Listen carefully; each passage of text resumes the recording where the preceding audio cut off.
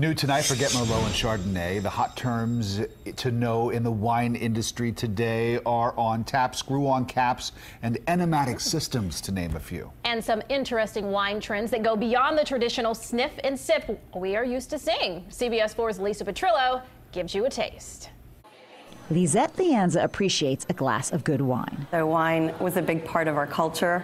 It was always on the table. It was a part of every family gathering. Lisette is part of a growing group of American consumers who downed 302 million cases of wine in 2014. Food and wine editor Ray Isle says several trends are driving this increase in consumption, including making tastings less pretentious people are trying to pair wine with music, and it's it can be as simple as as you know having music at your tasting room and kind of giving a vibe that way. This winery offers a backstage pass to a private lounge for special tastings with classic rock, and this winery actually features live musicians like Lyle Lovett and Melissa Etheridge as part of its Legendary Wines Legendary Artists concert series.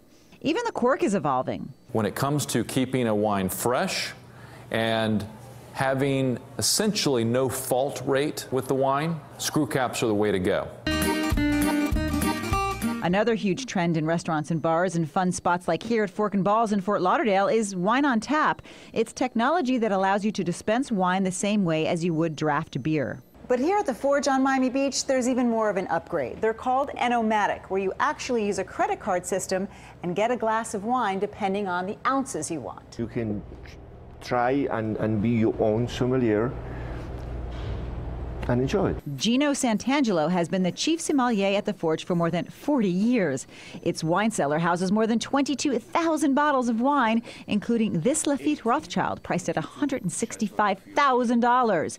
You won't see that bottle out here, but you will see wines in all price ranges that you can have with a simple swipe of the Forge wine card. It's like a debit card. Uh -huh. It's right here, mm -hmm. and uh, what it does, uh, we, we load it with the amount of money, -huh. and then you pour yourself your own wine. You have it, three choices. You have one, three, and five ounces. Okay. The machine works on argon gas and regulates the proper temperatures for each bottle. You can go for the super expensive wines like this bottle priced at $250 and just have a one ounce taste. $250 bottle of wine that I just got for a little over 20.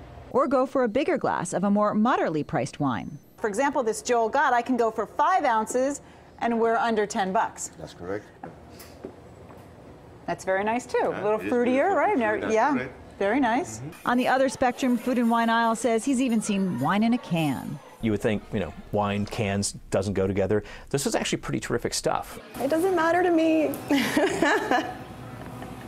it's still good. Lisa Petrillo, CBS 4 News, tonight.